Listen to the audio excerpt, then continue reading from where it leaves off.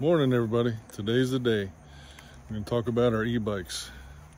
Been promising a video for a long time. A lot of stuff has been happening and I just haven't got a chance to get to it. So we're to roll the intro and I'm to show you what we got.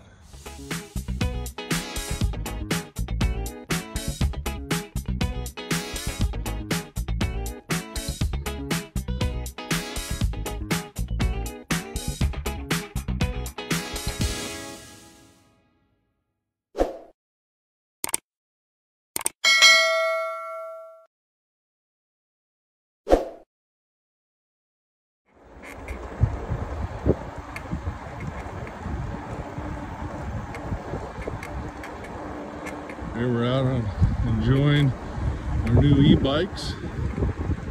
Trying to find some wild hogs down here in Punta Gorda, Florida. When pedal says three, pedaling at 15 miles an hour.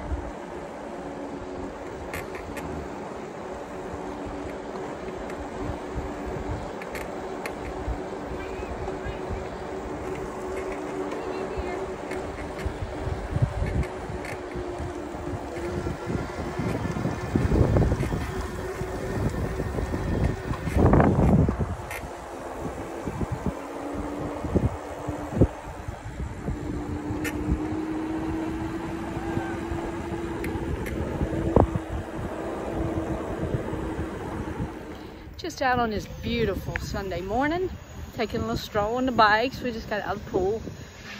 Thought we'd ride around and get a little bit more exercise after walking with Sabbath this morning, of course. But now get a little bit of biking exercise. Beautiful day to do it.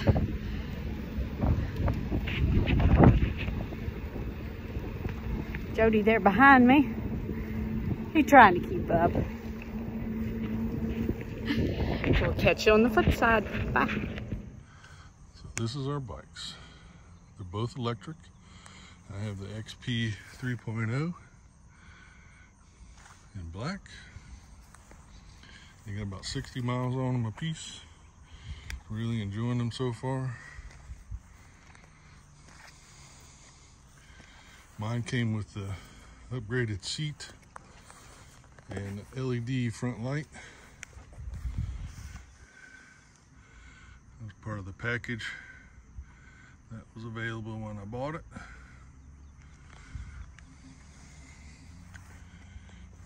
Teresa got the XP Lite. When she ordered hers, it came with this front bracket upgrade, rear bracket with saddlebags. They're soft saddlebags.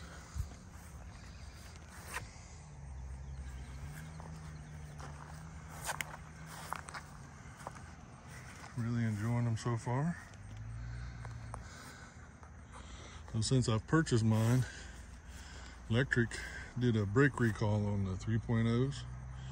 And uh, when you sign up for it, they send you a new front wheel and hydraulic brakes. The caliper, the hydraulic caliper doesn't fit on the stock wheel. So they send you, it's a little narrower wheel. But as you can see, it fits just as nice.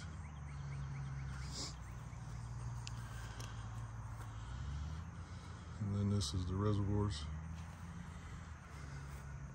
Uses mineral oil for the fluid. They seem to be working pretty good. I've only had them on for a short time, but so far so good. I like it. It's a big improvement